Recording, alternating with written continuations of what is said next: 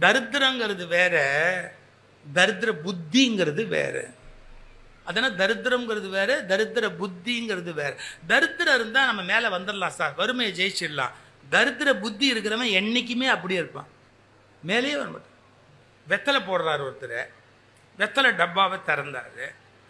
இப்படி பார்த்தா ஒரு ஒரு வெத்தலை கொஞ்சம் வாடி இருந்தது. ஒரு வெத்தலை பழுப்பாக இருந்தது. என்ன சார் பண்ணணும்?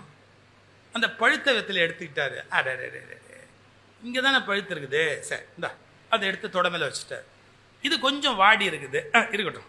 இது இந்த பக்கம் வச்சுக்கிட்டார் வாடை வெத்தலை வதங்க வெத்தலை பழுத்த வெத்தலை எல்லாத்தையும் ஒரு நாலஞ்சு எடுத்துட்டு மற்றெல்லாம் நல்லா இருக்கு. ராத்திரி போடலாம்னு மூடிட்டார் இந்த வாடின பழுத்த வதங்கின வெத்தலையே பிச்சு கிச்சு எல்லாத்தையும் வாயில் போட்டுட்டு காலையில் ஓட்டிட்டு திரும்பி ராத்திரி எட்டு மணிக்கு சாப்பிட்டுட்டு வெத்தலை போடலான்னு அப்படி திறந்தா இருப்பாருங்க. கரெக்டாக நாலு பழுத்துருக்கு. வாடை வெத்தலை பதங்க வெத்தலை அதை எடுத்து போட்டுட்டு நல்லதெல்லாம் நாளைக்கு காலம்புரை போடலான்னு வச்சாரு பாருங்க. மறுநாள் கரெக்டாக அஞ்சு அதே மாதிரி வாடி வதங்கி காத்திருக்கு. இவன் ஜென்மத்துக்கும் நல்ல வெத்தலையே போட்டது கிடையாது. இப்படி ஒரு வாழ்க்கை தேவையா? நான் சொன்ன உடனே ஆண்களை குறை சொன்ன உடனே பெண்கள் சந்தோஷமாக சிரித்தாங்க நீங்கள் இதே அக்கிரமத்தை ஃப்ரிட்ஜில் பண்ணுறீங்க ஃப்ரிட்ஜை திறப்பீங்க. ஐயோ பீன்ஸ் வாடி போச்சு இன்னைக்கு சமைச்சிடுவோம் ஐயோ அவரைக்காய் வாடி போச்சு இன்னைக்கு சமைச்சிடுவோம் ஐயோ இது வாடி போச்சு இன்னைக்கு. தினம் வாடின சமையலே போட்டு தான் பழக்கப்பட்டீங்களே ஒழிய ஃப்ரெஷ்ஷாக இருக்கிறத சமைக்கணும்னு தோண வேணாம் ஃப்ரெஷ்ஷாக இருக்கிறது. அது இருக்கிறதே ஃப்ரெஷ்னஸ் தானே இல்லை இம்பார்ட்டன்ட் அந்த அந்த அந்த ஃப்ரெஷ்னஸ் புதுமை புத்துயிர். அதானே அதில் இருக்கிற உயிர். அதை விட்டுட்டு சமைச்சு என்ன பிரயோஜனம் இருக்கு?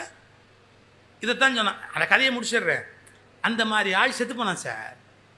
அவங்க சமூகத்தில் என்ன வழக்கம்னு கேட்டால் சாகரப்ப வாயில வெத்தலை வச்சு அனுப்புவாங்க. எல்லாம் அலங்காரம் பண்ணிட்டு அந்த புரோகிதர் என்ன பண்ணார் வெத்தலை பக்கத்தில் இருந்த நாலு நல்ல வெத்தலை எடுத்து சுருட்டி வாயில் வைக்க போனோடனே பையன் சொன்னான் எங்கள் அப்பாவுக்கு அது பிடிக்காதுன்ட்டு ரெண்டு வாட வெத்தலையை தேடி வா- போகும்போது கூட ரெண்டு வாட வெத்தலையை தேடி வாயில் திணிச்சு போயிட்டு சார் இப்போ நான் சொல்கிற வார்த்தையை குறிச்சுக்கங்க. நீங்கள் சம்பாதிப்பது உங்கள் சொத்து அல்ல அனுபவித்தது மட்டும்தான் உங்கள் உண்மையான சொத்து.